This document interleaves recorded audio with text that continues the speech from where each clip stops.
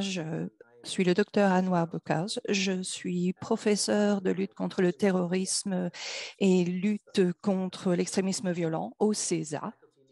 Je suis aussi le responsable de la faculté pour ce programme euh, pédagogique pour développer des stratégies locales pour lutter contre l'extrémisme violent. C'est un programme conjoint euh, du CESA avec l'Union africaine, euh, le Centre pour l'étude et la recherche contre le terrorisme, le CAERT. Alors, je voudrais donner un accueil chaleureux à tous nos collègues, à nos amis qui nous ont rejoints aujourd'hui pour ce programme virtuel. Alors, entre-temps, je voudrais accueillir Daniel Hampton, le directeur du CESA. Merci, euh, Dr. Boukars. Et je veux aussi euh, souhaiter un accueil chaleureux à tous nos participants. Alors, bon après-midi, bonjour, où que vous soyez, et merci d'avoir pris le temps de nous rejoindre aujourd'hui. Comme le docteur Boukars l'a dit, je suis Daniel Hampton, je suis euh, le directeur par intérim du CESA. Euh, j'apprécie le fait que vous avez pris le temps de participer à ce webinaire, à cet important webinaire sur ce sujet significatif. Nous agissons dans cet environnement virtuel à cause de la pandémie et nous avons hâte euh, de terminer cette période. Donc, nous allons faire quand même de notre mieux pour euh, créer des liens et des partenariats et même des amitiés, euh, bien que nous soyons euh, connectés seulement d'une manière virtuelle. Alors, merci encore une fois d'être ici aujourd'hui. Et bien sûr, ceci prend un peu plus de temps que si nous étions ici en présentiel. Mais euh, soyez certains que nous nous engageons à revenir à avoir des programmes en présentiel aussitôt que nous pourrons le faire. C'est une priorité pour nous ici au César. Alors pour ceux qui sont peut-être nouveaux, qui ne nous connaissent pas, euh, je vais vous dire quelques mots sur le CESA. Nous avons établi et financé par le Congrès en 1989 pour l'étude des problématiques sécuritaires liées à l'Afrique en tant que euh, euh, forum pour l'échange d'idées, pour la communication. Notre mission est de faire progresser la sécurité africaine en accroissant la compréhension, en fournissant une plateforme fiable pour le dialogue, en créant des partenariats durables et en catalysant des solutions stratégiques. Nous faisons ceci à travers trois piliers organisationnels. D'abord, euh, notre section des affaires académiques euh, qui mène des événements tels que celui-ci aujourd'hui. Le deuxième pilier, c'est notre section de recherche et de communication stratégique. Si vous n'avez pas consulté notre site web, je vous encourage à le faire. Euh, le, vous trouverez ceci à africacenter.org. Nous avons des copies de toutes nos publications de recherche. Vous pouvez les télécharger. Elles sont toutes en anglais et en français. Et beaucoup euh, sont aussi traduites euh, en arabe ou en portugais. Nous avons aussi des enregistrements euh, de webinaires qui ont pris place auparavant. Alors, je vous encourage donc à consulter ce site web et à l'utiliser en tant que ressource. Euh, c'est un de nos piliers qui nous aide à accomplir notre mission. Notre dernier pilier, c'est euh, notre section de travail de proximité et de travail avec les anciens élèves. Et ça, c'est notre travail avec vous. Nous espérons que vous engagez avec nous euh, à long terme. Nous voulons rester en contact avec vous. Nous voulons euh, vous offrir des bénéfices et obtenir des bénéfices. Nous, voulons établir ces liens avec le continent, comprendre ce qui est important pour les praticiens de la sécurité sur le continent. Euh, et donc euh, lier ces liens avec nos participants. Alors, nous vous accueillons en tant que membre de la famille du CESA. Alors, nous catalysons donc des solutions stratégiques et c'est là que vous pouvez intervenir. C'est à propos de vos solutions, vos stratégies, vos politiques. Notre approche envers ces webinaires, c'est à propos d'un modèle d'apprentissage parce que vous êtes les experts, c'est vous qui travaillez sur le terrain, c'est vous qui travaillez dans le secteur de la sécurité africain. donc, nous euh, voulons établir des analyses basées sur les preuves. Nous modérons, nous facilitons le dialogue, mais c'est vraiment à propos de vous.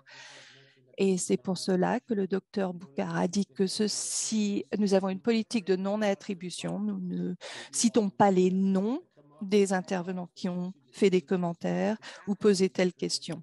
Parce que nous voulons en fait arriver à ces solutions pour lutter contre ces problèmes que nous voyons à travers le continent. Alors, encore une fois, merci de nous avoir rejoints aujourd'hui. Alors maintenant, je vais présenter notre partenaire pour cet événement, c'est le CAERT. C'est euh, le Centre africain d'études et de recherche sur le terrorisme de l'Union africaine. Alors aujourd'hui, M. Idriss Lalali nous a rejoint. Il est le directeur adjoint par intérim du CAERT. Euh, il, mène euh, la conception, il a mené la conception du système d'alerte précoce euh, du centre et il gère une équipe d'analystes sur la situation de l'extrémisme violent il a une équipe d'experts qui évalue les capacités des États membres africains. Alors, c'est encore une fois un plaisir de travailler avec le CAERT et merci encore une fois, Idriss, de nous avoir rejoints aujourd'hui. Merci.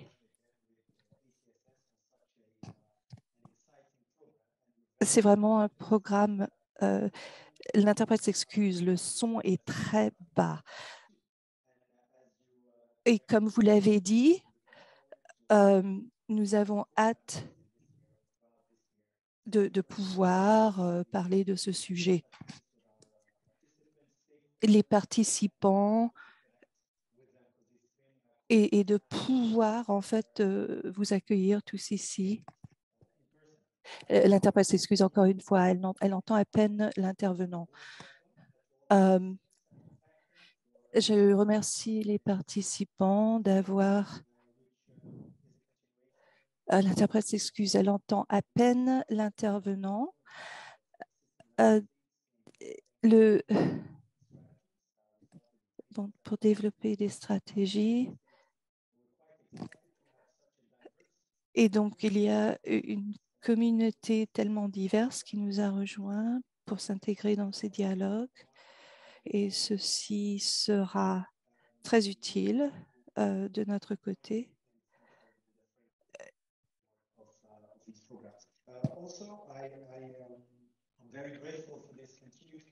Je suis très reconnaissant pour cet engagement continu. Les États membres L'interprète s'excuse encore, elle n'entend pas euh, l'intervenant. Euh, en euh, notre relation avec avec le CESA, nous avons hâte de continuer ces relations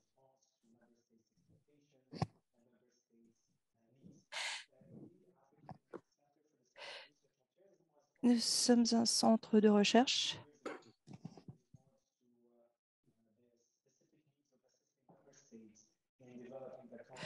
Nous avons, l'interprète s'excuse encore, elle n'entend pas, euh, presque pas l'intervenant. L'une de nos missions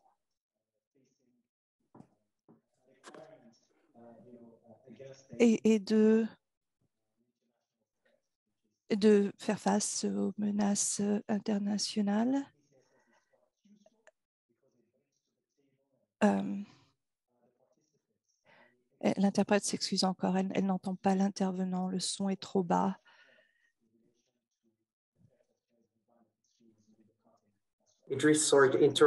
Idriss, je m'excuse, mais le son ne marche pas. Ah, je m'excuse, mon micro euh, ne marchait pas. Je ne sais pas si vous avez compris ce que j'ai dit. Alors, comme je l'ai dit, nous avons de la chance d'avoir ce partenariat et nous nous engageons avec euh, nos partenaires pour avoir une réponse positive à leurs attentes. Et nous voulons avoir un engagement de la part des participants euh, pour éclairer notre voie, pour nous donner des matériaux pour que nous puissions établir d'autres programmes. Alors, nous avons hâte euh, de participer à, ce programme. Alors, merci beaucoup. Euh, j'espère, désolé à propos de ce problème euh, de son auparavant. merci Idriss. C'est vraiment un plaisir euh, de continuer ce partenariat et de travailler avec vous. Alors, nous allons faire un aperçu du programme. Alors, pourquoi? Pourquoi ce programme? Un, certain nombre de pays africains ont développé des stratégies pour prévenir et contrecarrer l'extrémisme.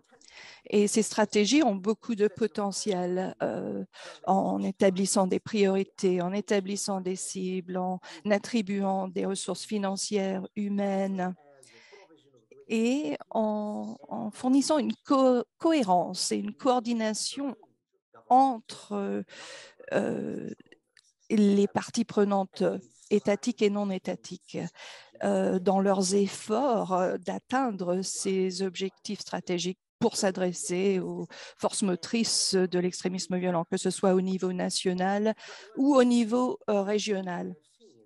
Mais ce que nous avons vu, ce que les études nous ont démontré, c'est que la faille qui est commune à tous ces éléments, c'est que souvent, ils ne s'alignent pas avec les nuances des contextes, euh, les, éléments qui interviennent dans les contextes euh, euh, locaux.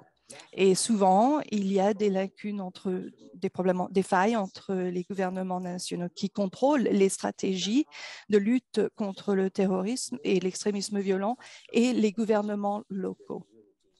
Et donc, les attributs de la communauté alors, la persistance des barrières et des obstacles à la collaboration, en plus avec le manque de compréhension entre les gouvernements, les entités non gouvernementaux, euh, les forces de l'ordre et les communautés. Et cela a fait de sorte que les pays ne peuvent pas faire un levier avec ces différents niveaux d'acteurs euh, qui peuvent apporter dans la conception et la mise en œuvre des stratégies de CVE, des programmes de lutte contre la violence extrémiste. Et en nous adressant à ces préoccupations, il est essentiel d'améliorer des stratégies, des programmes qui existent de, de et CVE. Euh, c'est les preuves empiriques qui nous mènent à ces conclusions et, et à poursuivre les bonnes pratiques que, que les pratiques émergentes provenant de de l'intérieur du continent de l'Afrique nous démontre la nécessité de, faire le pont entre justement euh, les entités du gouvernement, les entités, les communautés locales. Le défi, il faut des acteurs nationaux, des stratégies. Euh, les problèmes souvent sont des problèmes locaux, ce qui fait qu'il soit impératif de localiser les stratégies de CVE pour assurer lors de ce processus que les plans du gouvernement nationaux sont informés par les communautés et que les actions locales soient aussi bien alignées avec les stratégies nationales. Donc, une telle approche reconnaît le rôle essentiel que joue le gouvernement, aussi bien qu'avec toutes les parties prenantes, la société civile, pour euh, mettre en œuvre euh, des approches multi-parties prenantes, multi-acteurs pour contrer euh, la violence extrémiste. Nous voyons de plus en plus des gouvernements, des, des villes, des localités qui développent des plans d'action locaux pour contrer la violence les plans d'action locaux pour lutter contre euh, la CVE présentent des opportunités pour décentraliser ces approches en abordant les défis qui sont souvent spécifiques à la communauté. Ils fournissent aussi, ils offrent aux gouvernements locaux, comme vous allez voir ici et aussi lire dans les lectures que nous vous avons recommandées, ce que vous allez voir, c'est que euh, cela permet aux gouvernements locaux d'utiliser, euh, d'intégrer les activités CVE euh, sur le plan local et puis aussi en adoptant, comme, vous, comme il est indiqué dans la boîte outils, une approche de, de, la ville entière, une approche holistique de toute la ville dans cette lutte contre euh, la violence extrémiste. Dans, euh, euh, la lutte de CVE est, vraiment l'épine dorsale pour contrer ce phénomène.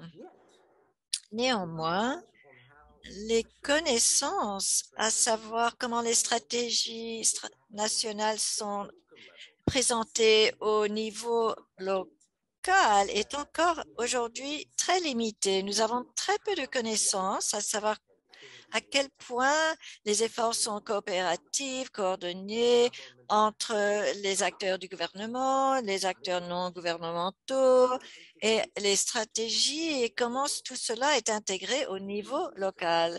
Les stratégies de CVE, il y a encore des, des lacunes euh, à savoir comment les, les départements pertinents du gouvernement, la police, les ministres de l'Intérieur, les, ministres de l'Éducation et autres, comment ces agents, ces départements du gouvernement euh, pertinents et les euh, acteurs non étatiques, comment ils s'intègrent pour conceptualiser et mettre en œuvre et faire le suivi des activités de la lutte contre euh, la CVE. Et puis aussi, il faut comprendre comment les plans d'action, les plans d'action locaux euh, sont mis en œuvre. Il y a beaucoup de pays à, travers le monde, surtout dans, euh, sur la partie mondiale du Sud, qui ont développé justement des plans sous-nationaux en Afrique, à part le Kenya qui a le plan d'action local plus élaborés. Souvent, ils n'ont qu'une poignée de stratégies qui contiennent parfois des éléments de plan d'action local, mais ces plans d'action sont engagés avec de nombreuses parties prenantes à de nombreux niveaux. Alors, de comprendre comment ces acteurs interagissent, interagissent euh, quels sont les rôles qu'ils jouent, qu'ils c'est important quels sont leurs quels sont leurs objectifs. Il est très important de bien comprendre tout cela dans cette lutte de CVE. Et puis l'importance d'avoir, euh, de développer, de concevoir, de mettre en œuvre euh, des stratégies de CVE. C'est pour cela que nous avons ces programmes académiques pour euh, renforcer le travail euh, que qu'entreprend le CESAC, qu'entreprend euh, la CAERT, euh, le travail qu'entreprend la CAERT avec les, fonctionnaires de sécurité de l'Afrique pour élaborer, pour mettre en œuvre des moyens plus efficaces, une architecture plus efficace de CVE. Donc, l'objectif du programme, nous voulons ce que nous cherchons tous, nous voudrions euh, avoir une meilleure compréhension des principes, euh, principaux qui euh, orientent les plans d'action CVE au niveau locales. Nous voulons que les participants aient des nouvelles perceptions, compréhensions de la coopération euh, locale et gouvernementale et comment mettre en œuvre des stratégies, des programmes, pour contrer euh, les activités de CVE. Nous voulons avoir des, rôles collaboratifs entre les forces de sécurité, les, fonctionnaires du gouvernement locaux, dans la conception et la mise en œuvre de ces plans d'action locaux. Nous sommes ravis d'avoir donc avec nous les participants qui proviennent aujourd'hui de 44 pays, euh, de toutes sortes d'organisations sur le continent et des 120 avec des résumés, des CV vraiment très impressionnants qui vous faites un travail extraordinaire dans vos pays pour le continent. Ah, nous sommes privilégiés d'avoir avec nous des collègues distingués comme vous aujourd'hui, vous les participants, lors de ces euh, séminaires. L'approche académique, comme euh, mon directeur, monsieur, euh, Dr. Hampton l'a dit, avant de nous, nous, nous réunissons dans ces, réunions virtuelles pour avoir des dialogues ouverte de façon euh, de non-attribution dans les groupes de discussion. Donc, euh, tous les participants euh, ne vont pas être cités, identifiés par leur nom, par leur pays, dans tout, par tout participant pour protéger l'identité des gens, qui, les propositions de chacun d'entre vous. Nous avons donc, euh, nous aurons des groupes de discussion en français, en portugais, en anglais. Il y aurait des, nous allons commencer avec des séances plénières comme nous faisons aujourd'hui et puis le lendemain euh, des, plénières, nous aurons des groupes de discussion. Vous allez être séparés par langue. Chaque module euh, aura, chaque séance aura des panélistes, ensuite suivi par une séance de questions et de réponses euh, et quatre groupes de discussion le lendemain. Le programme sera euh, composé de quatre séances plénières. La première, c'est celle d'aujourd'hui, c'est de comprendre euh, la raison d'être des plans d'action locaux. Le deuxième, c'est la conception et la rédaction des plans d'action CVE. La troisième, c'est comment il s'agit de la mise en œuvre d'un plan d'action local CVE.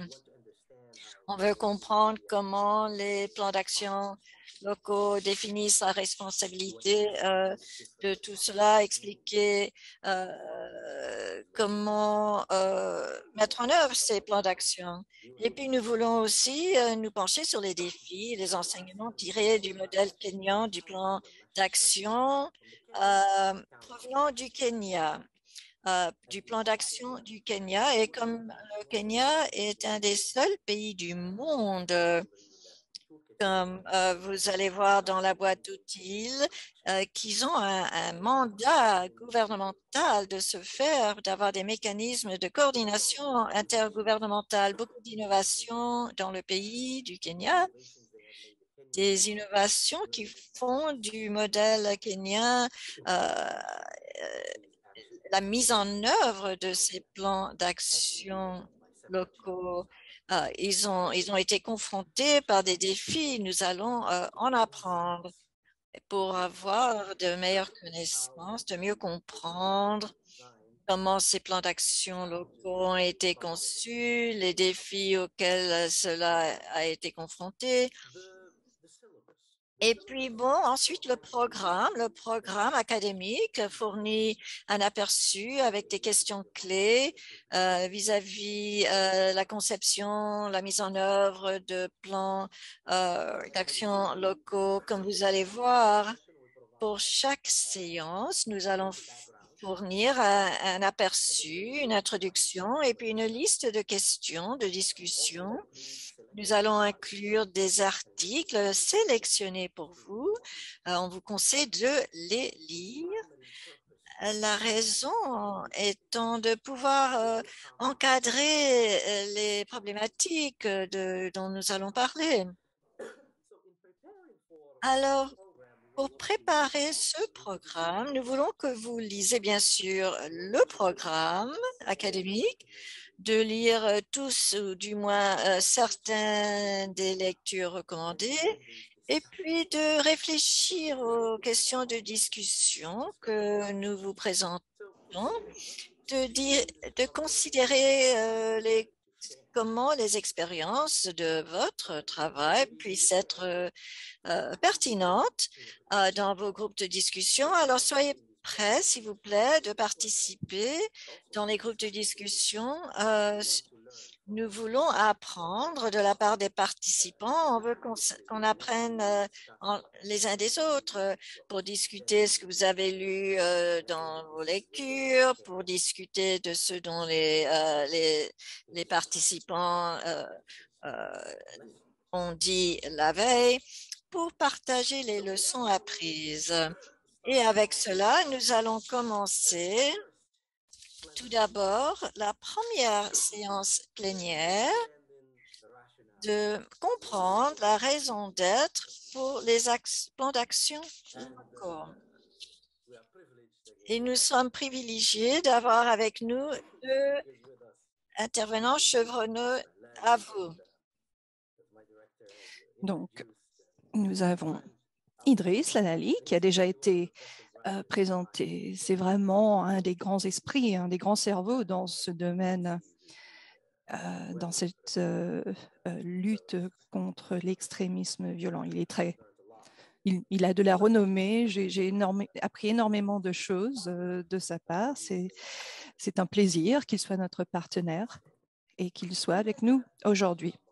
Et ensuite, Angela Martin une collègue, euh, je vous vois euh, en, tant que mentor. Euh, c'est, vous avez, c'est quelqu'un que j'aime, avec laquelle j'aime partager des idées. Elle est conseillère principale en matière de lutte contre le terrorisme à l'USAID. Elle a plus de 30 ans d'expérience dans la conception, la gestion et la mise en œuvre de programmes pour les agences gouvernementales américaines, euh, et aussi pour la Fondation pour le développement de l'Afrique, euh, la Peace Corps. Elle a beaucoup d'expérience en Afrique occidentale, centrale et australe. Euh, elle est aussi quelqu'un qui a énormément d'expérience dans le développement et l'application des décisions politiques pour s'assurer qu'il y ait une mise en œuvre réussie, sur le terrain de, des projets elle a mené le lancement du programme Trans-Sahara pour le, partenariat pour la lutte contre le terrorisme pour l'USAID.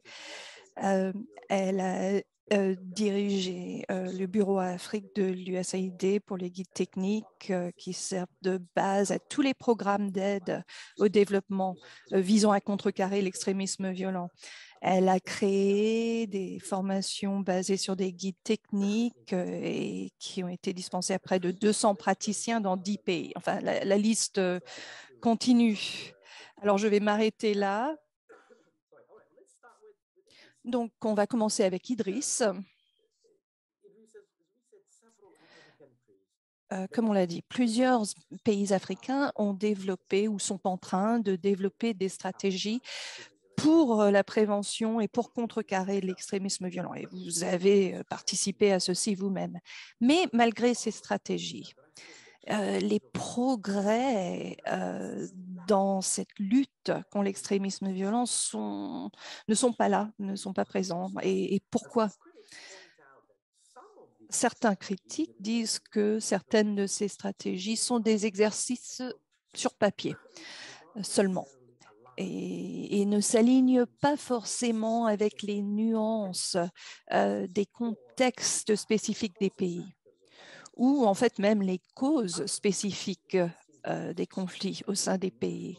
Euh, d'autres disent qu'il y a des failles au sein des gouvernements dans leur compréhension des structures, des processus qui seraient nécessaires pour rectifier euh, les problèmes de coopération entre les différents acteurs à différents niveaux et les autres et les parties prenantes de la société civile. Alors, toutes ces critiques suggèrent que certaines stratégies n'ont pas vraiment de valeur pratique pour la mise en œuvre de ces stratégies. Alors, basé sur votre expérience, est-ce que ces préoccupations sont justifiées? Merci. Oui, en effet, beaucoup de pays africains ont développé ou sont en train de développer des stratégies de prévention et de lutte contre l'extrémisme violent. Mais comme vous l'avez dit, il y a euh, des préoccupations qui sont justifiées, en effet, euh, et je vais parler des raisons pour lesquelles euh, celles-ci sont justifiées. Alors, beaucoup de ces stratégies sont en effet des stratégies sur papier, et donc seulement sur papier. Elles ne reflètent pas la réalité sur le terrain. Ce sont des stratégies qui ont été développées, euh, par exemple, euh, la stratégie euh, de l'ONU demandait à tous les pays d'avoir un tel document en place et beaucoup de pays ont été très volontaires à établir une stratégie selon ces lignes. Et maintenant, euh, actuellement, vous pouvez faire une recherche euh, Google euh, sur ces stratégies. Vous trouverez beaucoup ont pris des éléments de la stratégie, par exemple britannique, française, des États-Unis. Et c'est vraiment un exercice de copier-coller où les États membres recherchaient non seulement à se conformer aux demandes de l'ONU, euh, mais aussi aux conditions demandées par les partenaires euh, pour obtenir des ressources et de l'appui. Et donc, beaucoup de ces États membres euh, ont commencé ce processus sans comprendre vraiment quel devrait être le format de la stratégie, ce qui devrait être inclus dans la stratégie? Est-ce que ceci ferait partie de la stratégie de sécurité nationale ou est-ce que cette stratégie serait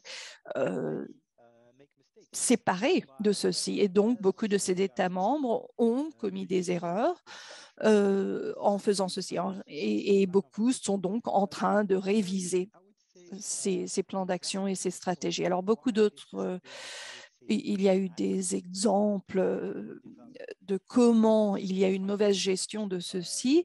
Alors, beaucoup de pays ont été, disons, surpris euh, par rapport aux, prérequis euh, provenant de la part du gouvernement, de, le fait qu'il devait gérer ceci.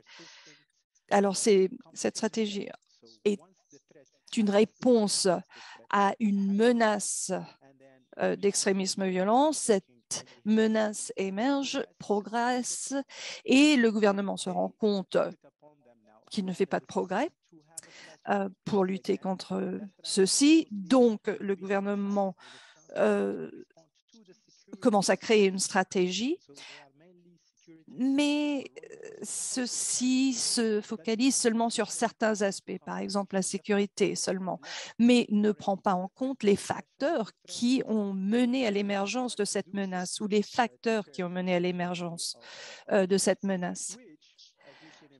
Et je pense que euh, vous pouvez bien voir qu'il y a donc euh, des parties prenantes seulement d'un côté, bah, de, des services de renseignement, de la police, mais il n'y a pas de parties prenantes euh, de la part de la société civile ou de la population civile. Et donc, le problème, c'est que les pays essayent de, répondre à ce, problème, à cette menace sécuritaire, et donc ceci est un grand problème. Alors, un autre grand défi, c'est euh, le problème, la problématique au niveau international. Euh, de, maintes fois, nous avons parlé de la terminologie, des obligations que nous imposons sur les États membres et la confusion en fait que, que nous établissons à ce niveau. On leur demande de développer des stratégies euh, de sécurité nationale et aussi de développer des stratégies de lutte contre l'extrémisme violent. Alors, quels devraient être les documents euh, qui cadrent pour ceci et comment prévenir l'extrémisme violent?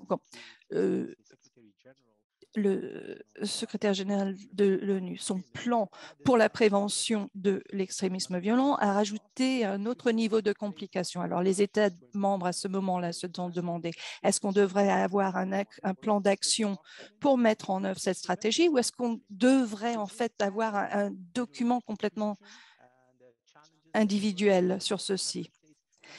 Et donc, ceci a créé de la confusion au niveau des États membres pour identifier quelles seraient euh, les parties prenantes qui devraient être consultées au niveau national et quelles parties prenantes sont responsables pour la mise en œuvre de ces documents cadres pour ces stratégies.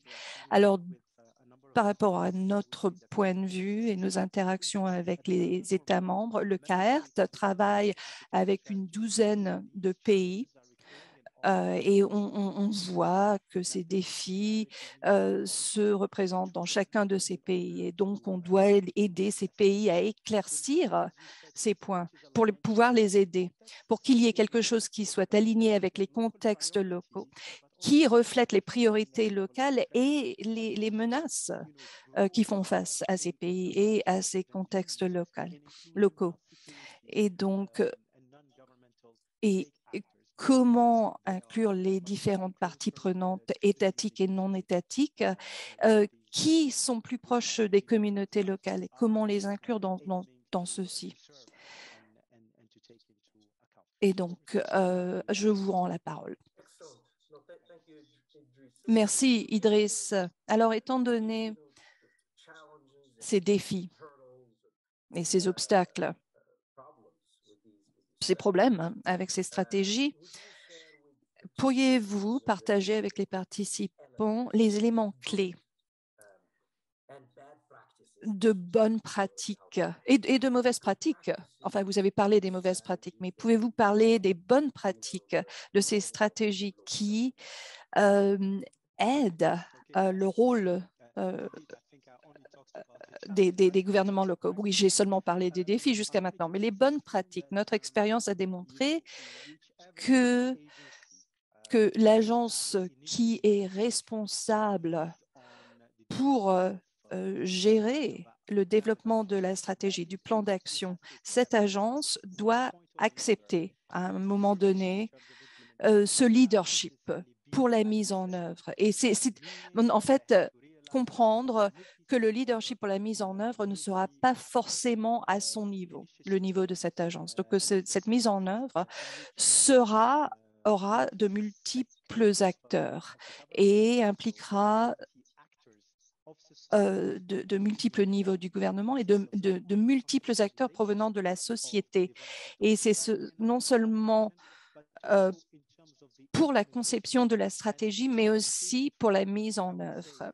Et cela doit en fait venir du haut vers le bas et doit être supervisé au niveau les plus élevés jusque vers le bas pour s'assurer qu'il y a une coordination nationale, une orientation nationale un financement durable qui provient du gouvernement, euh, parce que l'ONU euh, requiert que les États membres euh, prennent le rôle de leadership dans la lutte contre le terrorisme, mais requiert aussi que les acteurs locaux soient impliqués dans la conception des plans d'action locaux. Alors, un bon exemple, enfin non, mon conseil, et je suis content que vous ayez inclus dans les lectures recommandées les, bonnes pratiques. Euh, il y a de très bonnes pratiques qui sont notées dans ces lectures, mais il y a trois ou quatre activités qui doivent être prises en compte par les États membres. D'abord, une cartographie des parties prenantes. Euh, il faut établir cette cartographie avec un esprit ouvert, il faut aller au-delà du gouvernement, de la sécurité et réaliser, se rendre compte du fait que les parties prenantes euh, qu'on engage, avec lesquelles on, a une discussion dès le début, euh, il y en aura peut-être plus au fur et à mesure qu'on s'implique dans ce processus. Alors, le deuxième aspect serait la nécessité, une fois qu'on a identifié les parties prenantes, c'est d'avoir une consultation nationale avec les parties prenantes individuelles pour comprendre leur point de vue comprendre leur interprétation euh, ou leur identification des priorités, pour comprendre le rôle qu'ils peuvent jouer à l'avenir et pour euh, euh, établir une appropriation du, processus. Alors, une fois qu'on a fait cette consultation, il faut établir un dialogue national où toutes les parties prenantes nationales s'impliquent, parlent des piliers de la stratégie et se mettre d'accord sur les piliers de la stratégie et pour aussi identifier des actions et des responsabilités euh, attribuées à chaque partie prenante. Et cela va euh, assurer qu'il y a cette représentation, cette inclusivité. Cette stratégie peut être un document national, mais les plans d'action doivent être en fait euh, calibrés, doivent être adaptés aux facteurs locaux qui mènent au terrorisme. Donc, il est important de s'assurer que, que toutes les interprétations de la stratégie nationale ou du plan d'action national. Tout cela doit découler vers les autorités locales, y compris les organisations de société civile, euh, les jeunes, les femmes, les leaders coutumiers. Euh, alors, quelles sont leurs responsabilités? Quelles sont leurs priorités? Et il faut voir comment on peut mettre ceci en œuvre au niveau local. Donc, il faut établir ce dialogue. L'exercice de cartographie est très important. Une évaluation de risque au niveau local est très importante, mais aussi, donc, il faut identifier les ressources disponibles, les acteurs, et ensuite, il faut essayer de euh, développer un programme qui sera durable euh, parce que euh, souvent le problème, c'est l'aspect financier qui est lié à la mise en œuvre de ces stratégies. J'espère que ceci répond à votre question. Absolument. Absolument. Les pratiques que vous avez soulignées et démontrent et l'importance des CVE de, l'architecture, CVE euh, nationale, la façon qu'elle soit mise en œuvre sur le terrain. Il faut reconnaître le besoin de bien comprendre les menaces euh, de la violence extrémiste. Au niveau local, il faut identifier, euh, voir les avantages, les désavantages des différentes approches euh, au CVE que vous avez mentionné, développer un encadrement national inclusif qui représente la diversité des acteurs. C'est extrêmement important de se faire dans ce domaine. Il faut promouvoir une coordination efficace, une collaboration entre les parties prenantes à tous les niveaux, le niveau national, local, tous les acteurs pour euh, équilibrer euh, justement les démarches au niveau national et local. Ça nous mène à la prochaine question, Idriss.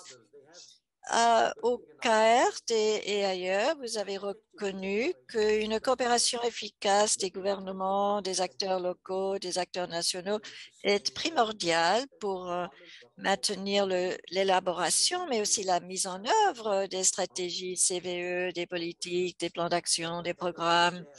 Mais il y a néanmoins des obstacles, le manque de confiance, de partager les renseignements. Alors, je voudrais rentrer euh, plus profondément dans cela. Y a-t-il des approches, des leçons apprises, des approches prometteuses provenant des stratégies euh, sont axées euh, du niveau national. Y a-t-il des mécanismes pour, euh, pour que ces stratégies aient plus de réussite? Merci, c'est une question très importante. C'est, comme vous l'avez indiqué dans vos remarques d'ouverture concernant le Kenya et puis le Nigeria aussi, à savoir comment des stratégies de euh, CVE ont été mises en place, CVE, et puis Burkina Faso, Lesotho, Botswana, et aussi en Côte d'Ivoire actuellement. Euh, comme je l'ai dit tout à l'heure, c'est souvent la communauté des renseignements qui vont prendre le devant sur les questions de sécurité. Et puis, euh, euh, qui vont consulter avec les autres organisations telles que le CAERT. Ils vont réaliser qu'il faut que cela aille au-delà euh, euh, des, des, organisations. Il faut, pour que nous puissions faire le PCVE de façon efficace, il faut nous assurer, il faut bien comprendre les causes racines des violences, il faut comprendre les griefs sur lesquels les extrémistes recrutent de nouveaux membres et s'insèrent dans les communautés. Il faut s'adresser à cela. Il y a le besoin de comprendre non seulement les menaces nationales, mais les dynamiques au sein national, les griefs qui peuvent locaux, qui peuvent être euh, euh, utilisés par les extrémistes pour entrer dans les communautés et indoctriner les jeunes, les femmes dans leur euh, vision idéaliste, utopique, disons, du monde et leur interprétation du monde. Donc, il est très important sur ce côté-là que du point de vue national, dans développement, élaborant des stratégies, il faut qu'elles soient bien alignées avec les, conditions, les contextes locaux, mais aussi qu'il y ait des initiatives euh, qui sortent des localités, surtout des communautés qui ont été exposées à des éléments de radicalisme, d'extrémisme violent. Il y a des, des groupements, des organisations de la société civile qui restent résilients, qui offrent des solutions pour adresser les conditions locales ou les facteurs locaux, les locaux qui, euh, qui sont euh, sur le terrain, de voir les menaces euh, de la perspective des communautés qui y sont exposées, mais aussi de trouver les solutions au sein des communautés. Ces communautés, il ne faut pas l'oublier, ils ne le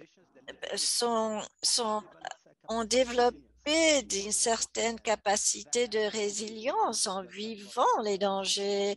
Et ces capacités de résilience ne coûtent rien au gouvernement. Ce sont des initiatives communautaires. Elles ne se fondent pas euh, sur le financement gouvernemental.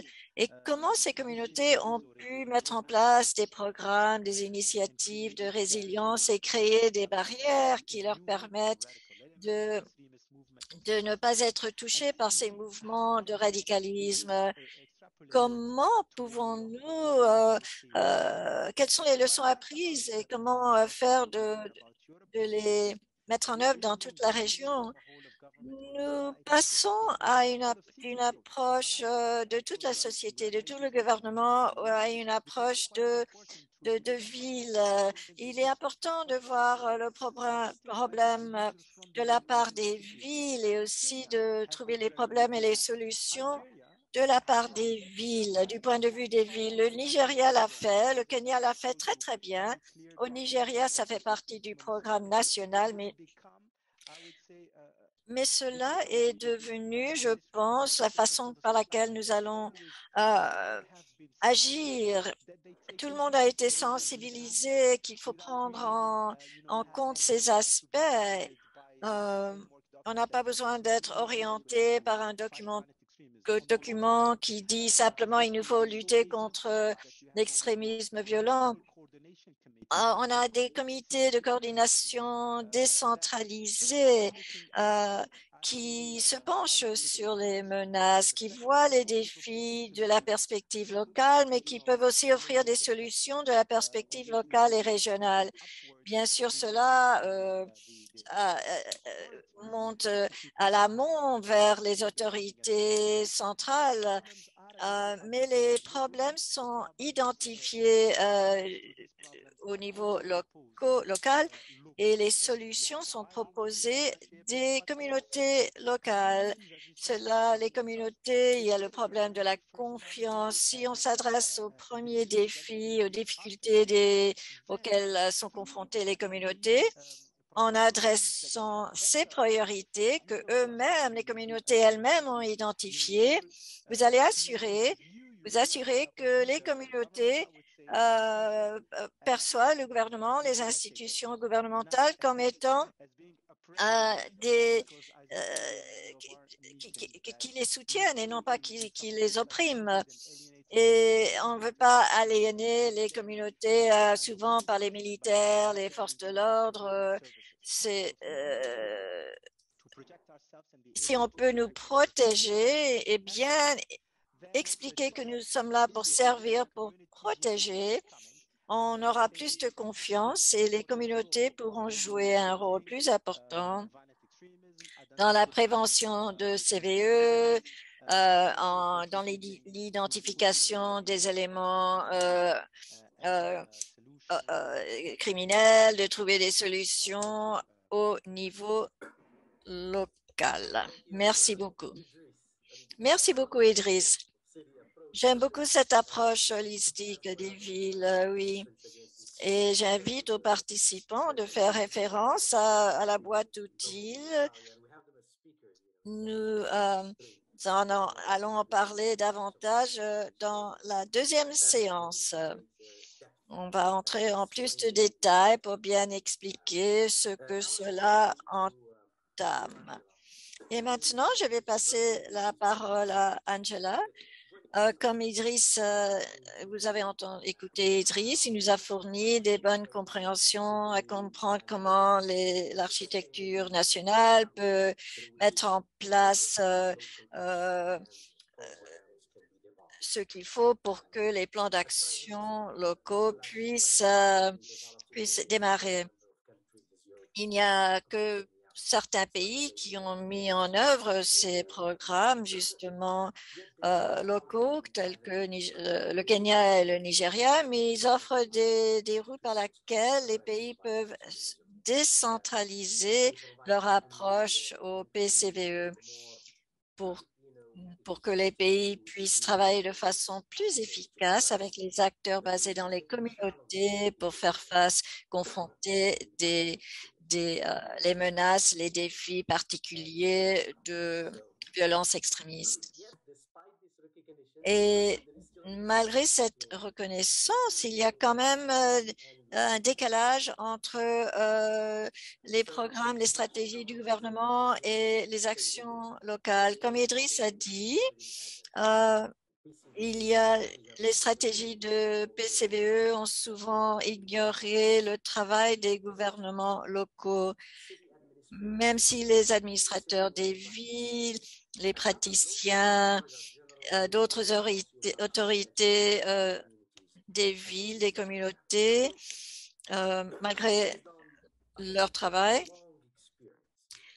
donc, basé sur votre longue expérience, à quel niveau est-ce que ces stratégies ont-elles ignoré le travail des gouvernements locaux et comment est-ce que cela impacte à la mise en œuvre de ces stratégies? Merci beaucoup. Je voudrais vous remercier de m'avoir invité. Comme il a été noté, le directeur Idriss et moi, on a commencé dans ce domaine en 2006. C'était mon premier événement du César en Alger, en Alger en Algérie, lui aussi travaillait dans, dans, ce domaine. Ça fait donc 15 ans que nous travaillons dans ce domaine. Nous voyons l'évolution de cela. Le terme à l'époque, CVE, n'existait pas. On utilisait contre-extrémisme. On a ajouté le mot violent plus tard. C'est toute une évolution, tout un parcours évolutif. Et donc, c'est important de continuer ces discussions aujourd'hui. Le nombre de praticiens qui, euh, qui sont ici aujourd'hui n'existaient pas à l'époque avec le vocabulaire, la connaissance de contribuer à ces discussions. Euh, je voudrais aussi noter que mes remarques sont les miennes. Elles ne ne reflètent pas l'opinion du gouvernement américain ou de l'USAID. Ce sont mes propres pensées. Je vais un petit peu répéter à vous dire que doit faire euh, la stratégie nationale en fait? Comment pouvons-nous utiliser cela? Euh, Dans le cas du Nigeria, la stratégie du Nigeria de 2017 est un bon exemple.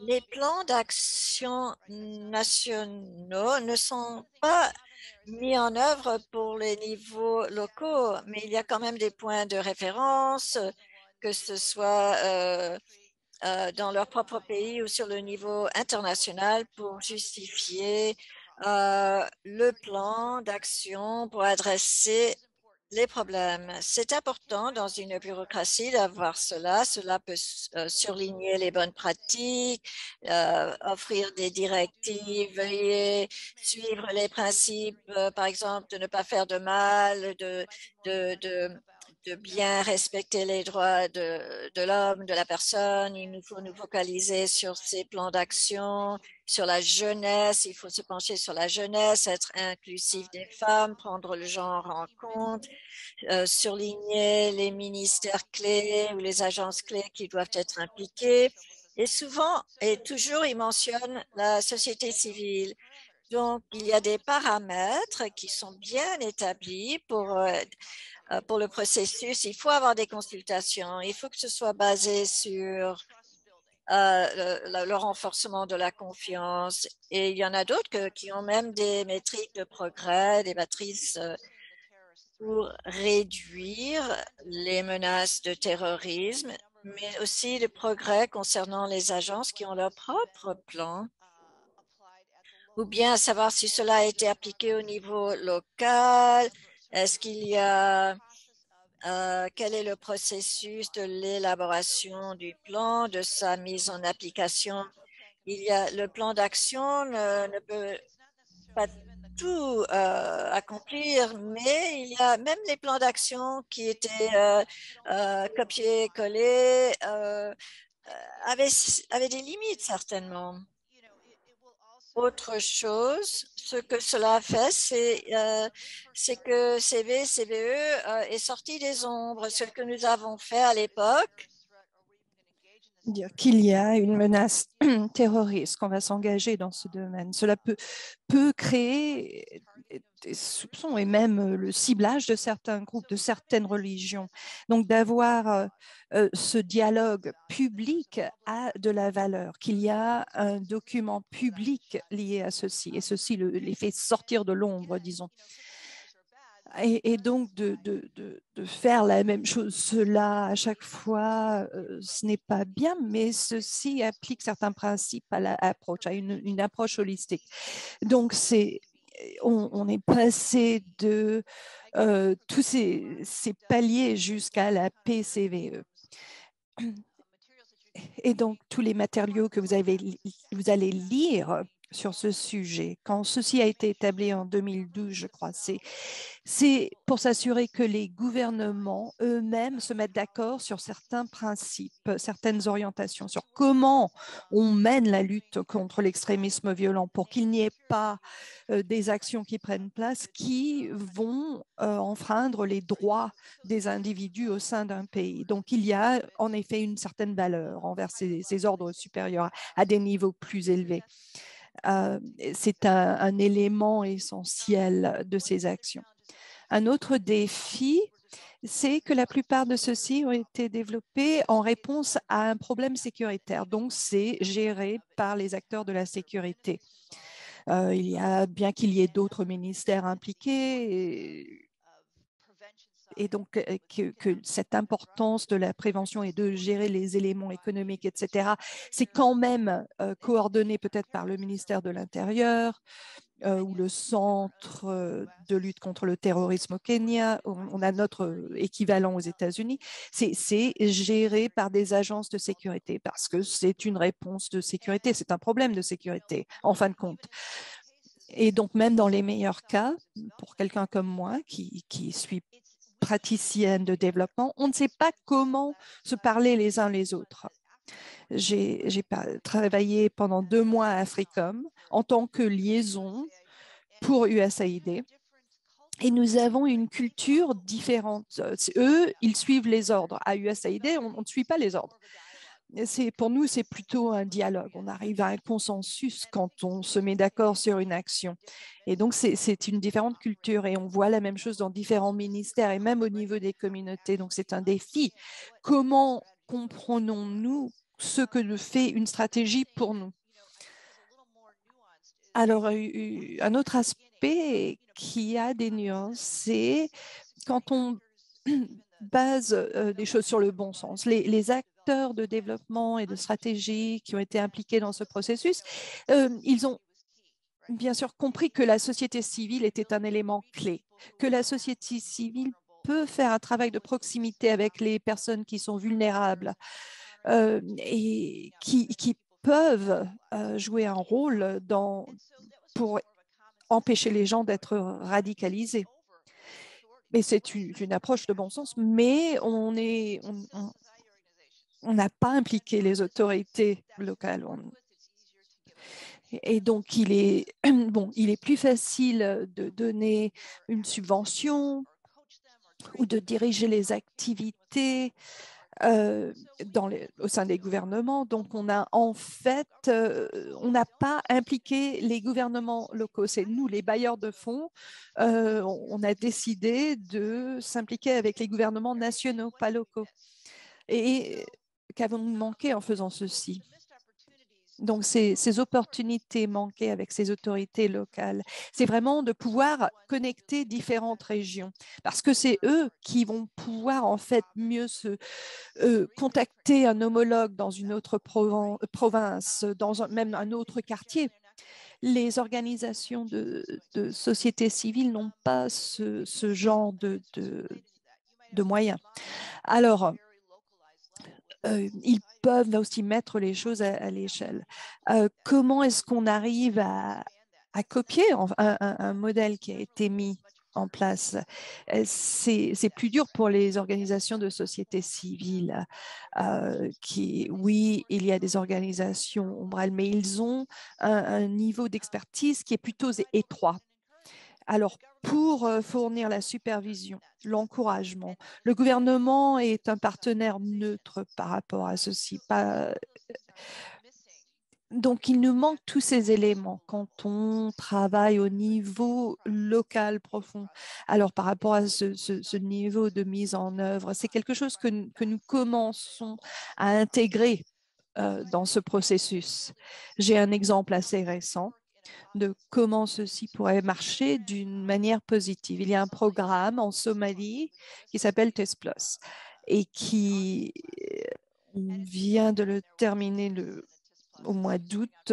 Enfin, c'est un projet qui, qui évolue depuis un certain temps. Et l'approche centrale, c'est de travailler avec les autorités locales euh, qui commencent à être euh, réétablies dans, dans certaines zones de la Somalie pour euh, améliorer l'image du gouvernement local, du fait qu'ils font partie de la communauté. Donc, ils ont fait, établi des bonnes pratiques, des analyses euh, de ce qui se passait avec les parties prenantes et des, analyses de, de Al-Shabaab et bien sûr des analyses du gouvernement lui-même pour, que, pour comprendre ce que les gens pensaient à, propos de ces autorités locales, parce qu'elles doivent faire partie de la solution. Et donc, pour, euh, pour fournir les services et aussi la sécurité, parce que sans la sécurité, on ne peut pas livrer ou fournir les services de base. Et donc, euh, il y a eu des discussions à propos du fait que oui, il y avait des ressources pour réaliser les activités, mais la focalisation était vraiment sur la communication, pour établir la présence de ces autorités locales envers la communauté. Donc, je vais m'arrêter là, mais c'était un, exemple. On va continuer sur cette voie. C'est un modèle ce n'est pas seulement le, gouvernement américain qui fait ceci, mais c'est le gouvernement de la Somalie et d'autres bailleurs de fonds qui voient que c'est une manière raisonnable de progresser, d'élaborer la résilience locale, d'utiliser ces gouvernements locaux pour répondre à cette menace terroriste. Merci, Angela. Euh, merci d'avoir parlé de cette progression. et, en effet, il y a de la valeur euh, dans cette stratégie. On, commence, euh, on a commencé avec le contre-terrorisme, passé et jusqu'à la PCVE. Donc, cette, euh, cette approche de toute la société et qui, qui est vraiment la, la, prochaine étape nécessaire pour élaborer ces programmes, ces stratégies. Comme l'extrémisme violent a un impact sur plusieurs parties d'une société, euh, que ce soit la gouvernance nationale, les communautés, ça veut dire que les euh, solutions doivent intégrer tout ceci. Et des progrès ont été accomplis, en effet. Merci euh, d'avoir parlé de la Somalie. Alors, ma deuxième question pour vous, c'est à la base de votre expérience, enfin basée sur votre expérience, quelle est la logique, la raison d'être du rôle des autorités locales dans cette lutte contre l'extrémisme violent? Et c'est en termes d'opportunités aussi de, défis. Si vous pouvez nous parler des développements politiques, des, de ce que vous avez, euh, le sujet que vous avez abordé avec la, Somalie, les, initiatives qui sont entreprises au niveau local. Alors, euh, l'une des choses que je veux souligner, c'est que les organisations de société civile sont les partenariats privilégiés en général, mais que la PCV a des éléments d'état de droit, de paix et de sécurité. et, et, ça, c'est évident. Et donc,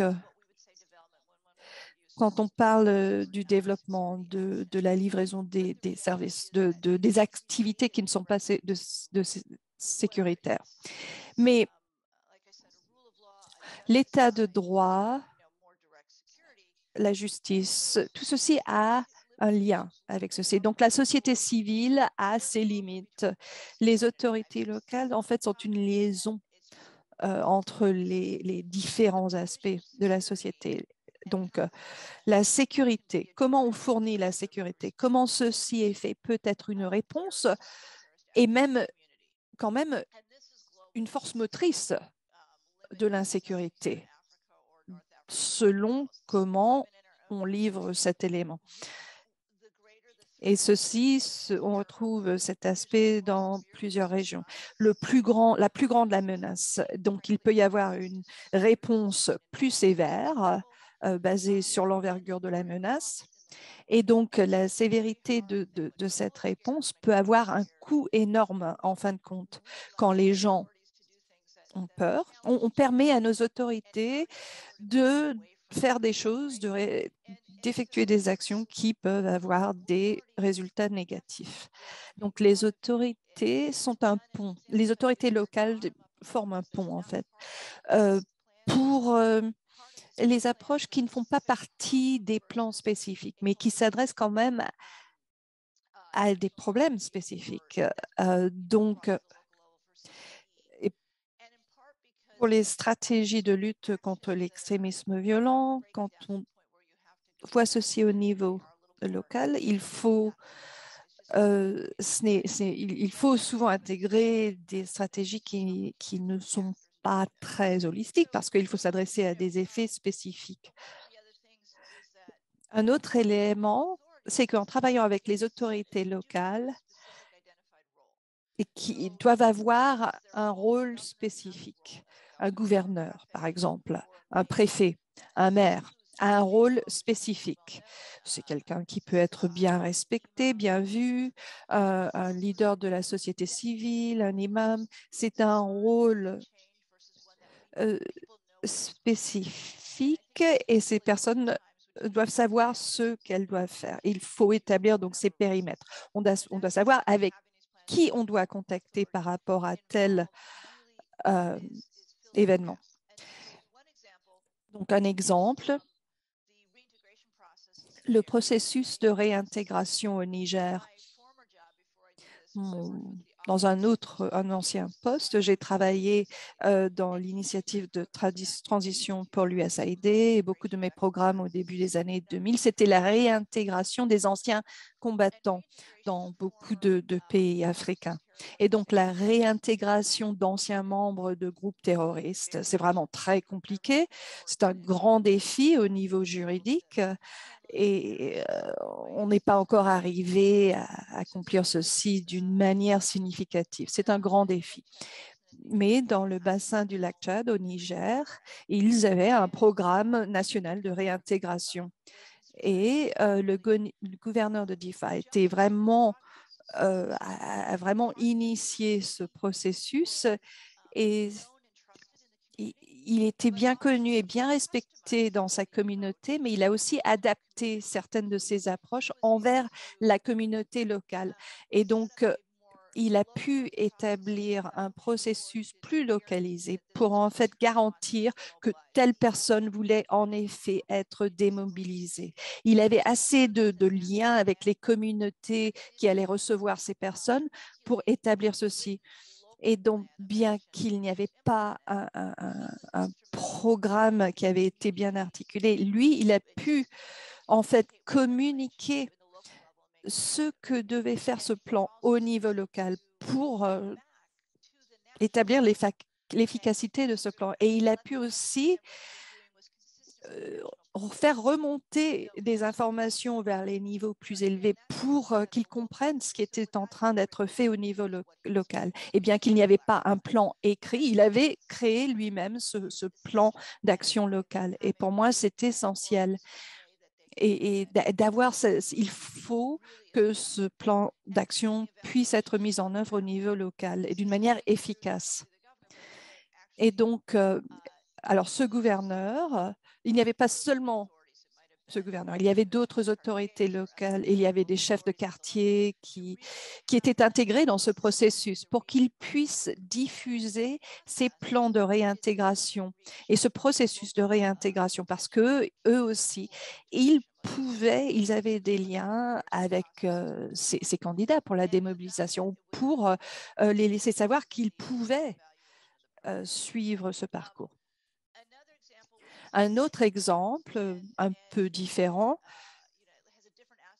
et qui a, là en Mauritanie, un pays sur lequel j'ai aussi beaucoup travaillé, ils avaient aussi un, plan national autour de 2010. Ils ont établi leur premier plan bien avant d'autres pays et c'était avant même que l'ONU euh, ne dise qu'ils voulaient travailler sur ce sujet.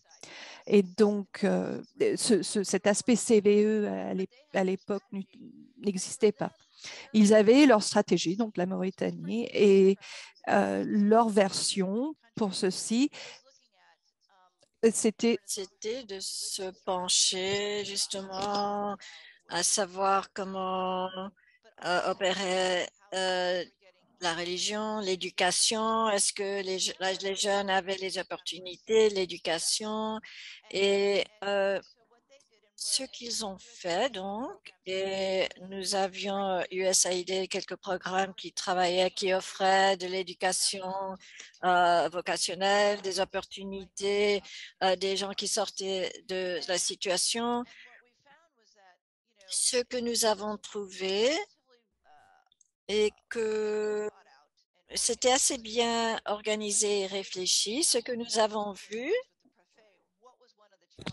quel était un des défis que nous avons vus? Ces programmes euh, ont fait partie de quatre ministres. Il y avait le ministre de l'Éducation, le ministre de, l'instruction religieuse de Mauritanie, le ministre des jeunes, des jeunes et aussi euh, l'éducation euh, vocationnelle. Et je pense que dans d'autres pays, vous auriez euh, les mêmes situations, même si vous avez fait un très bon travail, vous avez inclus la jeunesse, le composant jeunesse, le composant éducation, il y a des multiples ministères et des bons ont peut-être d'autres priorités, à savoir qui doit être en premier sur la liste pour participer, participer dans les programmes. Et ce sont les autorités locales qui peuvent aider à naviguer cette euh, mise en œuvre bureaucratique, euh, gouvernementale. C'est un autre exemple pour savoir pourquoi il faut donner la voix aux autorités locales euh, avec les ministères. Sinon, ça va être beaucoup plus difficile de mettre en opération ces programmes et avoir les effets que nous recherchons. Alors, voici deux exemples que j'ai là-dessus. Merci beaucoup. Merci, Angela. Vous avez tout à fait raison. Tout plan d'action national, toute approche doit vraiment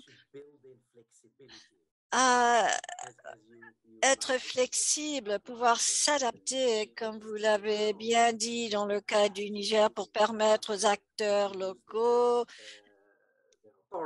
d'utiliser leur autorité, leur respect de pour adresser les défis spécifiques à la communauté.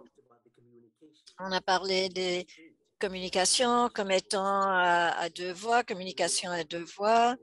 Et donc, c'était euh, le, second exemple de la Mauritanie, l'approche holistique de tout le gouvernement, les ministères, les, euh, comment coopérer avec les services de sécurité, les autorités locales, le rôle que doivent jouer les euh, autorités locales. Merci. Donc, la troisième question, nous savons que dans beaucoup de pays, on, développe, on élabore les stratégies pour euh, contrer euh, l'extrémisme violent, euh, au, niveau national, au niveau des villes, mais on veut aussi est-ce que vous pouvez partager avec les participants les leçons apprises, à savoir comment les plans d'action locaux peuvent être euh, bien, euh, quels sont les résultats dans la réalité et aussi euh, les rapports entre les gouvernements nationaux et locaux concernant ces stratégies et démarches de CVE. Alors, je pense que tout le monde qui participe ici comprend bien c'est que tout cela ne prend pas lieu dans un environnement statique. Euh, chaque pays, bien sûr, euh, a peut-être son plan en place, mais il y a euh, des, des, zones qui sont très fragilisées, qui ont une euh, présence du gouvernement très faible, de beaucoup euh, d'activités criminelles, des, frontières poreuses avec le trafic des biens et des personnes. Ces zones-là euh, n'ont pas attendu gentiment pour qu'il y ait une cartographie, qu'il y ait des programmes provenant du gouvernement. Comme Idriss a dit, il y a une carte graphique qui démontre la résilience sur place. Il faut donc nous pencher sur cette résilience, les programmes qui sont déjà sur place, peut-être euh, euh, l'engagement des jeunes, il y a peut-être des efforts euh, d'inclure tout le monde qui existent déjà. Vous allez donc vous en servir. Je vais prendre le Kenya comme exemple, mais de façon différente. Au Kenya, il y avait un programme qui, je pense, existe toujours, qui euh, se penchait sur les frontières euh, euh, de transport entre Soudan, Éthiopie et les voisins. Ces corridors, ils voulaient gérer ces zones, comment gérer les conflits dans les zones. Nous avons travaillé sur la question, le gouvernement du Kenya a été impliqué et cela était un programme qui a soutenu les, communautés à mettre en place des, structures pour diffuser les, tensions, d'améliorer les communications avec les populations locales euh, dans ce qui peut être des environnements très volatiles, les, euh, les frontières. Et avec la frontière de Somalie, nous avons mis en place un, programme de gestion des frontières. C'était des agences de frontières, à savoir comment ils ont travaillé avec euh, les gouvernements locaux des, des deux côtés de la frontière pour renforcer la confiance entre le gouvernement, les communautés, pour adresser justement les menaces extrémistes lorsqu'ils ont mis en place, donc, lorsqu'ils ont élaboré des plans d'action. C'est ce programme a travaillé avec le gouvernement du Kenya pour mettre en place un plan d'action. Ils avaient donc déjà euh, des relations avec les autorités locales, des relations avec la communauté locale, avec la euh, gérer les conflits. Euh, ils avaient déjà de l'expérience avec des anciens combattants qui revenaient d'Al-Shabaab. Ils ont travaillé avec euh, l'élaboration d'un plan d'action et cela donc euh, Loudoun County euh, nous savons, il y a eu des, même très récemment, des attaques contre le gouvernement du Kenya par des organisations de terroristes. Mais un des résultats d'avoir eu mis en place tout cela bien à l'avance au sein de la communauté, ce qu'ils ont pu faire dans, l'élaboration de ce plan, ils ont pu restructurer les unités de police dans justement la County. Ils ont pu se focaliser dans des activités de renforcement de confiance entre la police et les communautés. Il y avait des forums avec des processus de réconciliation CVE et aussi, euh, ils se sont penchés sur la réconciliation, sur le traumatisme qui sortait de, et à cause du travail qui avait déjà été mis en place, ils ont pu renforcer ce processus. Donc, lorsque vous vous penchez, vous prenez l'opportunité au niveau national, vous allez euh, voir des personnes telles que moi qui déjà travaillent euh, qui travaillent sur papier, mais qui... Mais lorsque vous parlez des plans d'action locaux, vous allez pouvoir travailler avec les structures préexistantes dans les communautés, ce qui va vous fournir une fondation bien plus sûre qui va donner des rôles réels aux personnes. Et cela je pense que cela, c'est une des leçons apprises, une des choses à retenir, retenir de ce processus. Et euh, au Kenya, vous allez voir que euh, ceux qui ont eu plus de réussite dans leur plan d'action, les comtés qui ont eu plus de réussite, c'est ceux qui se sont qui ont continué avec euh, ce qu'ils avaient déjà en place, qui fonctionnaient bien déjà en place dans les communautés. Merci beaucoup. Merci encore de cette cet exemple. Euh, alors, nous voici donc à la fin de la conversation